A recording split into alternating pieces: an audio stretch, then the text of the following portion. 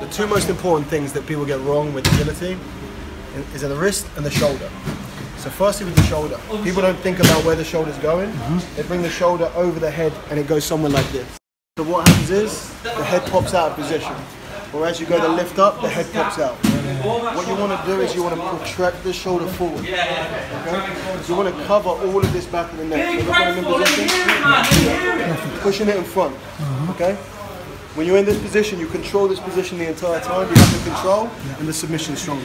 Second mistake people do, they, they- you want this part of the wrist, the blade going into the neck. What people do is as they connect their hands, they do this. You end up with a flat part of the wrist underneath the neck here. You want it like that. So it's very, very important when you grab the guillotine position, you don't do this. When you grab the guillotine position, you keep that in the correct position. When you get that all together, very little pressure and the choke is very easy. So shoulder forward, covering the neck, wrist stays up into the neck, and come around to grab it. Don't move your wrist to grab it. Simple stuff makes a big difference.